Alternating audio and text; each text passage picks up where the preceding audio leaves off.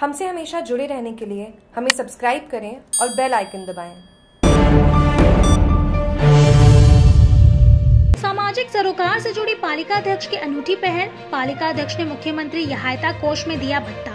CM Ashok Gehlot के अनुरोध पर आगे आए पालिका अध्यक्ष वैक्सीनेशन के लिए अर्पित किए एक माह का भत्ता। मुख्यमंत्री सहायता कोष में दिया सात हज़ार नौ सौ रूपए का चेक। आगे आकर दान दे जिनके होते भाव। श्रेष्ठ लगे कुबेर से निर्मल दिखे स्वभाव। ये पंक्तियाँ पालिका अध्यक्ष मगन दान चारण के व्यक्तित्व को परिभाषित करती प्रतीत हो रही है।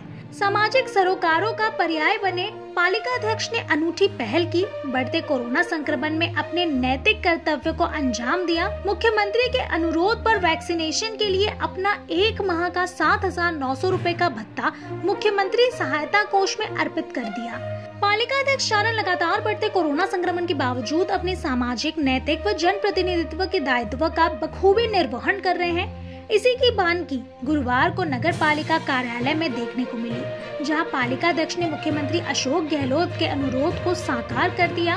उन्होंने अपना एक माह के भत्ते सात हज़ार नौ सौ का चेक वैक्सीनेशन के लिए मुख्यमंत्री सहायता कोष में दे दिया। इससे असहाय व जरूरतमंदों को वैक्सीनेशन में मदद मिलेगी। उन्होंने कोरोना संक्रमण में राज्य सरकार व प्रशासनिक अमले का कंधे से कंधा मिलाकर साथ देने का संकल्प दोहराया। मौके पर मौजूद पालिका उपाध्यक्ष रवि शर्मा समाज सेवी आकाश माली व पालिका कर्मचारियों ने पालिका अध्यक्ष की पहल की सराहना की, साथ ही उनका आभार जताया। पार्षदों को भामाशाहों से की अपील पालिका अध्यक्ष शारण नगर पालिका के सभी 40 पार्षदों व भामाशाहों से अनुकरणीय पहल को अंजाम देने की अपील की। पालिका अध्यक्ष ने पार्षदों व भामाशाहों से आगे आकर मुख्यमंत्री सहायता कोष में मदद देने का आग्रह किया। ताकि कोरोना संक्रमण की मुश्किल घड़ी में उनके द्वारा दिया गया सहयोग जरूरतमंदों के वैक्सीनेशन में मददगार बन सके। जागरूक टीवी के संवाददाता से बात करते हुए मगनदान चारण चेयरमैन नगर पालिका आबू रोड, इन्होंने ये कहा।